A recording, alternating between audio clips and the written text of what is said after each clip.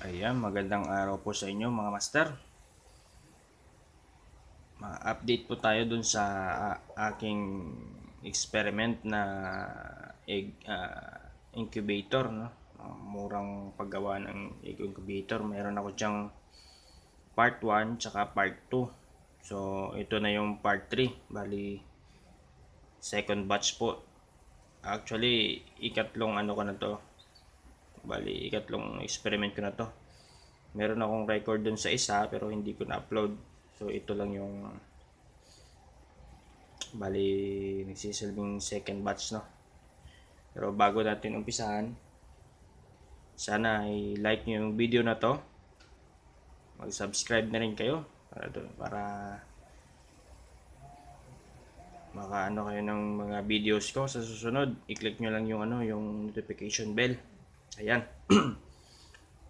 Doon po sa part 2, ah, bali tatlong itlog ang napisa sa lima.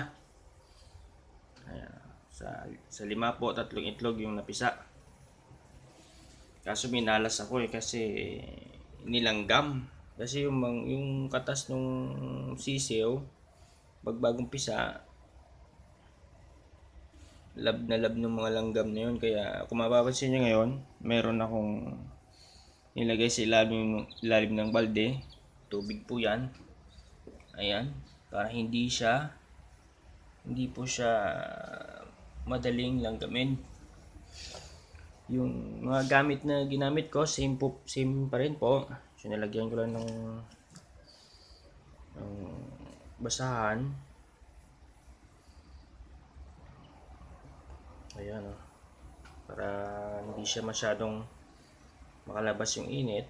Ayan. So, ito po yung update ng aking second batch. Ayan o. Bali, tatlo pong itlog ang dinagdag ko. Ang ang yung dalawa, makikita nyo yung isa. Ayan. Uh, natin. Makita nyo, yung isa, napisa na. Meron din akong video na i-upload kung paano napisa yan. Ayan, nakunan ko siya bali. Pero, ayan o. Bali yung dalawa na yan, ito, ito, tsaka ya, ito. Sabayan sila, ito, one week. One week pa lang to. Mag, one week pa lang ito. Bago pa lang. So, so, sa susunod na pisa, siya lang mag-isa. Nag-uumpisa pa lang na magkaroon ng mga ugat-ugat yan sa, sa, sa loob. Ayan. oh. Kanina lang yan napisa. Yun.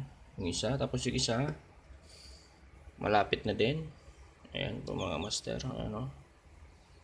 Hmm. Hmm. Ayan. So, importante po yung tubig. Lagyan nyo ng tubig. Ah, about po sa gamit nito, murang-mura. Makikita nyo naman na mura. Tapos yung isa, ayan, kita nyo yung sisiw, yan o. Hindi pa masyadong malakas. Yung nauna dito, yung tatlo, namatay kasi si- nilanggam. Sayang. Ayan o. Ito po yung kabuang itsura niyan. Makikita nyo. Nilagyan ko lang ng tubig sa ano sa, ila, sa ilalim para yung langgam hindi makapasok basta-basta. Ayan po, ayan. Yan. So, kung kayo may mga balak yung mag-incubator, simple lang, bili kayo ng ilaw. Ano, na 25 watts. Hanap lang kayo ng mga sira-sira yung mga gamit dyan na pwede nyo assemble. Tapos bili kayo ng ano, ng Bitmin Pro. Ayan. Bitmin Pro na vitamins. Kung makita nyo dyan sa, sa, sa mga ano ko, ito, bukas, malakas na to bukas, yung sisyo na to. At saka yung isa, mapipisa na. So, bibilan ko ng Bitmin Pro na vitamins na powder yun. Tag 20 pesos yung ano yung isa. Kailangan nila yan. Mas, mas maganda kasi painumin ng tubig bago sila makakain. Para mag, masi, maging masigla sila. Ayan. Subok ko na rin kasi yung Bitmin Pro kaya si, nire-recommend ako sa inyo pag bago pisa painumin nyo ng Bitmin Pro. Yung sa akin kasi tinatansya ko lang. Uh, huwag masyadong pula kasi yun, pula ang color nun pag tinimpla mo sa tubig. Huwag masyadong matapang yung kulay ng tubig. Katamtaman lang. Tsaka bili kayo ng ano, ng chick booster. Yung iba hindi gumagamit ng chick booster pero sa akin chick booster yung pinapakain ko. Kasi pagkatapos uminom ng Bitmin Pro, masigla na yan, maghahanap tayo ng pagkain. Ayan. So, yun lang po mga master. Ito po yung second batch ng aking ah homemade egg incubator. No? Ayan.